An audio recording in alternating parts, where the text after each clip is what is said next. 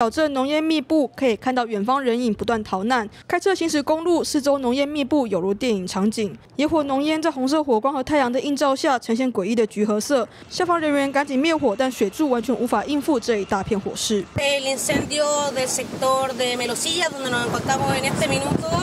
Es una afectación a aproximadamente 480 hectáreas.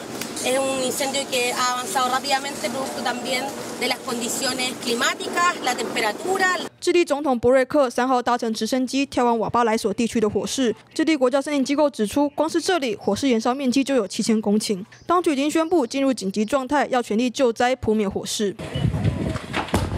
野火蔓延到住宅区，整片民宅起火燃烧，不时发出爆炸声响，灾民只能静静看着房子被大火吞噬，无能为力。一夜醒来，家园全毁，来不及逃难的民众在家里被活活烧死。搜救人员找出一具具遗体，但全被烧得焦黑，街坊邻居甚至认不出来谁是谁。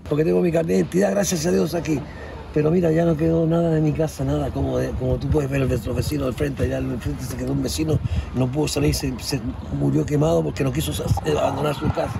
声音现象引发的夏季热浪和干旱，再加上风速影响火势，就会让野火范围迅速扩散开来。灾民形容公园失火之后不到十分钟，烟雾弥漫，天空变黑，陷入一片黑暗，犹如人间炼狱。不止智利，南美洲最近也都又干又热。哥伦比亚一月底野火不断，墨西哥降雨少，水坝干到水面下的教堂都现形，让渔民和农民都相当担忧。